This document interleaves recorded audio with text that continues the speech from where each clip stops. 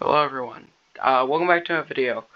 Sorry for my like uh, four day, five day long absence. Um, but I'm back now, and we're gonna play this little game that I found um on itch.io.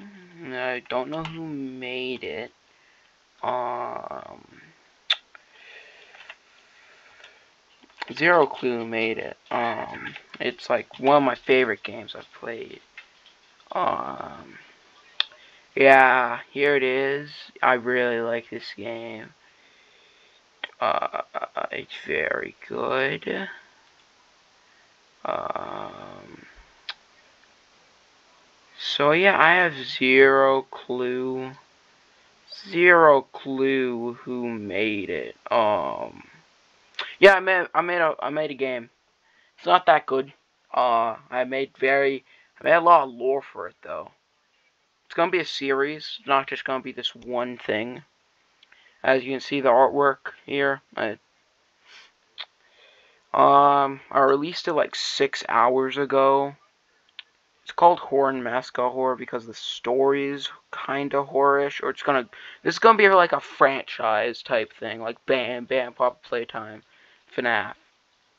So that's the only reason it's under horror and mascot horror. And it's under runner, you'll see. Uh, there he is, and there's the main collectible in the game.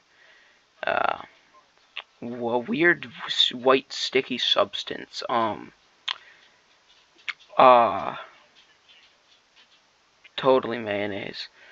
Uh, it's for Windows and Mac. Um, actually, I haven't played my own. Well, I have played, I have beaten it. I do have to download it, though, so. Yeah. Womp womp. But, uh, yeah. Uh, I'd recommend go downloading. I put, like, it took me like an hour to make. It's not, okay, it's not that good. If good, I'll show you. I'll just show you. Hang on. Alright, so here it is. Whoa, yeah, whoa, man. Horror, yeah, game. So yeah, uh, there's no title screen. Um, as you can see, it's made with GDevelop. Um, it's probably the best game of, um, 2024. Like, nothing's gonna top it. Like, no game that came out or is coming out. Um, this year will top this. Absolute fucking math. Don't don't don't question why you sound like a car. Um, just, just, don't question that. Um.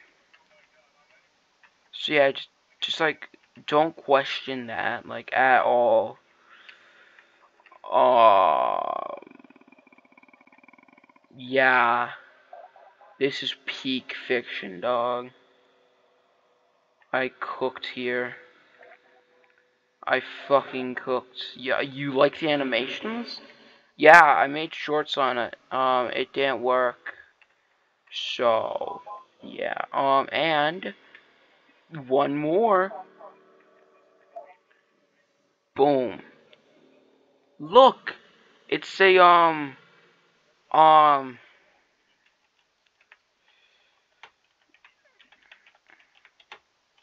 It's a um leaderboard that doesn't work. And um then you just do it again. Yo ho ho. Um lack of a title screen really brings it together, I feel.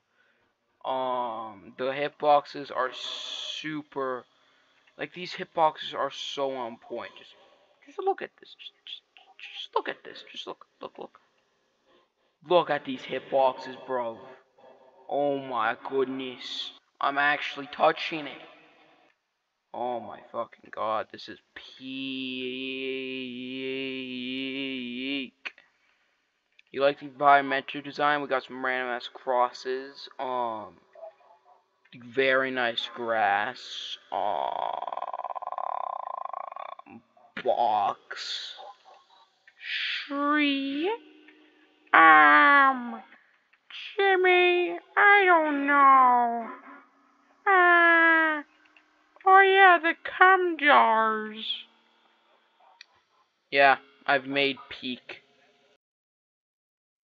But in like all seriousness, um, I made that game to learn GDevelop, like try to learn the engine. I fi I figured out some things about it.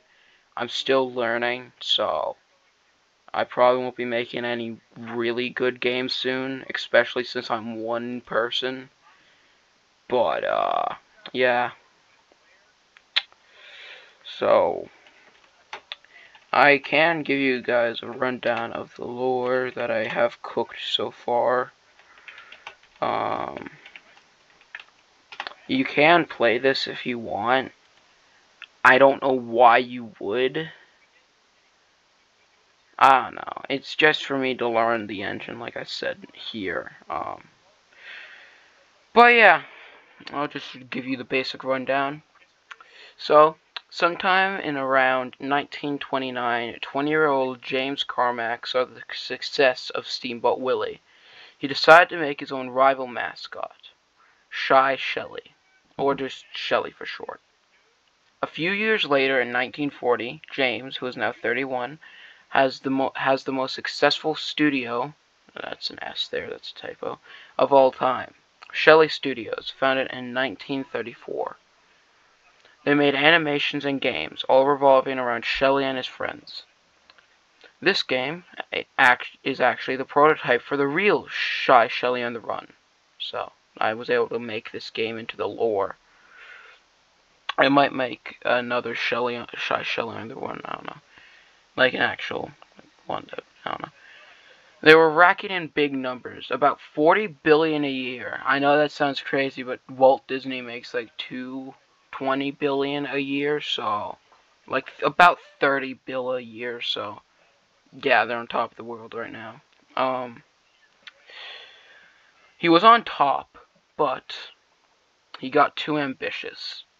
He decided to bring his characters to life. Mascot suits were not enough. He hired his time's greatest engineers to bring Shelly and friends to life. After blowing most of his money on the on ro the robots, he had gone down a somewhat depressing rabbit hole. He had cut off all contact of family and friends. He basically went insane, rambling to himself all day in his office about some god. Eventually, in 1950, all his time and effort were for nothing, as he was forced to shut down his studio because he went broke. No one knows what happened to him, nor those robots to this day. So yeah, I think I cooked up some pretty interesting lore there. Um, I hope you guys would like to see what I can make in the future.